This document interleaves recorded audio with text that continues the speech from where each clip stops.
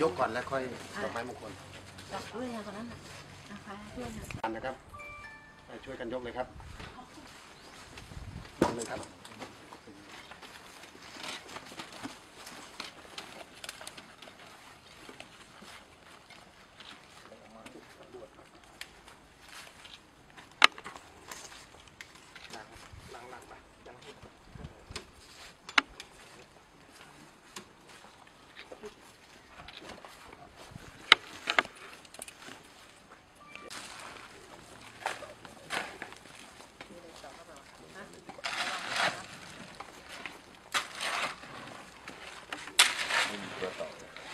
เอาอะไรตอกอะช่างช่างเพราะว่าทำทำพิธี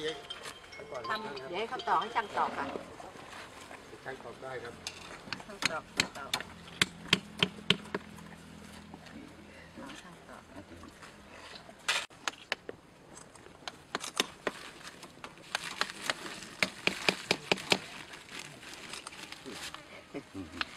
เป็นหินเลย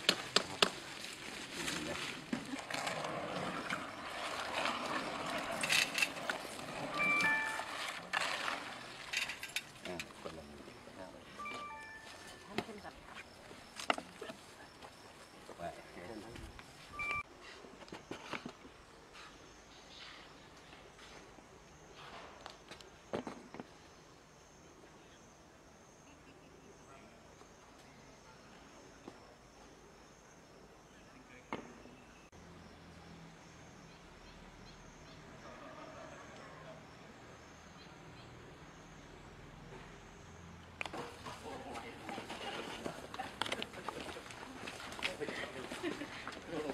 ก็ เดิมเลยค่ะเดินเลยก็เดิมตัวเดิมเนี่ยต้องดูข้างบนค่ะพี่อืมน่ารักโอ้ยเอาตัวไปสอดขัดไว้ไงแล้วกันตกว่าเมื่อเราเปิดตรงนี้แล้วจะมีไหมที่เอามาปล่อยข้างหน้าเนี่ยถ้าเขามามอบเราเนี่ยก็ได้พูดคุยกันบ้างปัญหาส่วนใหญ่จะเจอแบบ แบบปล่อยทิ้งปล่อยเลยทิ้งเลยใช่ปล่อยขาด แล้วการหลุดด้วยนะฮะ กลัวแมวหลุดกลางทางด้วยนะล็อกอย่าง เลยก็เลย แต่ถ้าจำกัดจำนวนได้ทำหมันได้เนี่ยมันก็ลดทั้งบัตรอืมจากครอบครัวเด็กอยู่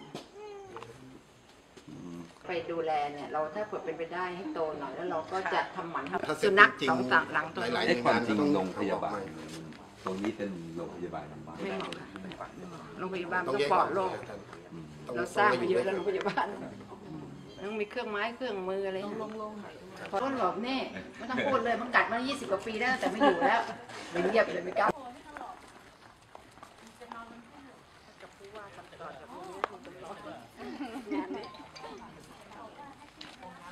ขอบคุณท่านผู้ว่ามากที่ให้ทางจังหวัดมา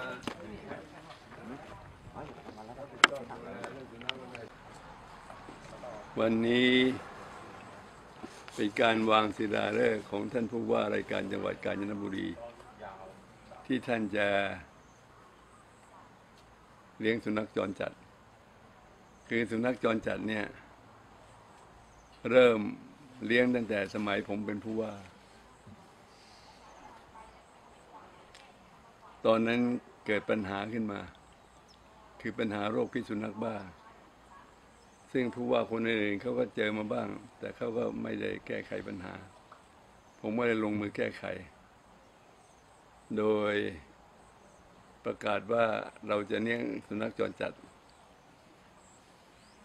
ก็มีคนโทรศัพท์มาต่อว่า เช่น มีชายหนุ่มคนหนึ่งโทรศัพท์มาเลย คุณจำลองคุณจำลอง ผมและคณะเลือกคุณมาเป็นผู้ว่าคนนะ ไม่ใช่ผู้ว่าหมานะทำเรื่องหมาหมาเอ๊ะทำเรื่องคนแกม่ยักพูดนะ เราเลี้ยงโดยเราประกาศว่า เพื่อแก้ปัญหาโรคพิษสุนัขบ้ากทมจะเลี้ยงสุนัขจรจัด โดยไม่ใช้เงินหลวงเลย เพราะผมมั่นใจว่าประชาชนเนี่ยสงสารสุนัขมากผมจะบริจาคมาเรื่อยๆเราก็เริ่มเลี้ยงที่ทุ่งศรีกันกรุงเทพนะต่อมาผมก็เห็นว่าที่ตรงนั้นชักเจริญขึ้น จ้าของเอาไปทำธุรกิจอย่างอื่นจะดีกว่า เราเลยย้ายมา เวลาย้ายมาเราไม่รู้ว่าจะย้ายไปที่ไหน เรามีโรงเรียนผู้นำอยู่ที่กาญจนบุรี อยู่ในความดูแลของผมและคุณภรรยาด้วย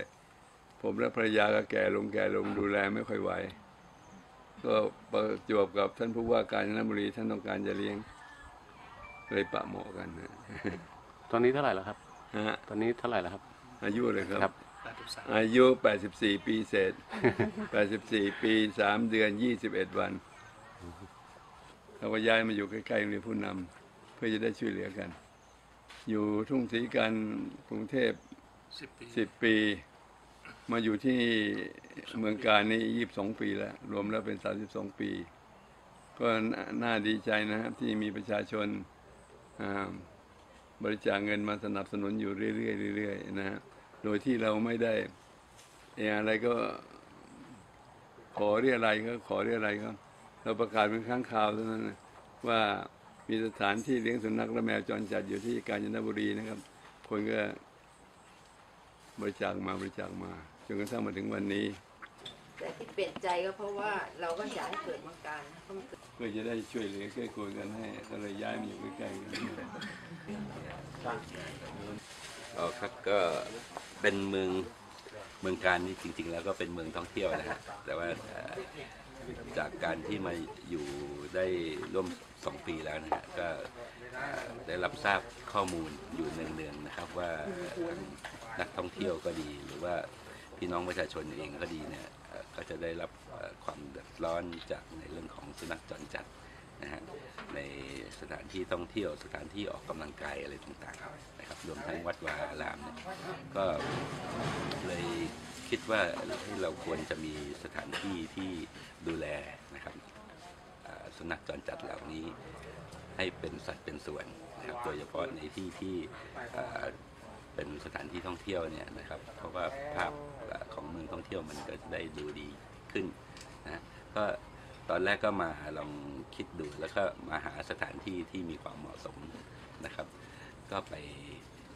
ดูเรื่อยๆ ก็ได้ทราบข่าวว่าทางมูลนิธิของท่านท่านจำลองเนี่ยนะครับอ่าได้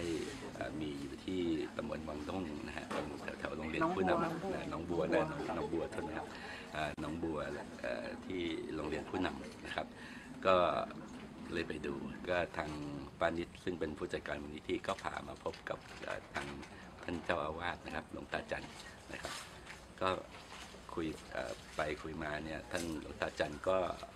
ให้ให้คำยินยอมนะครับ ตอนแรกยินยอมให้ทางมูลนิธิอยู่แล้วนะครับมูลนิธิตอนหลังก็มาก็ก็คุยกันแล้วก็เปลี่ยนใจมาจับมือกับทางจังหวัดนะครับ เพื่อที่จะพัฒนาพื้นที่แห่งนี้ไม่ไม่ต้องย้ายไปเพชรบุรี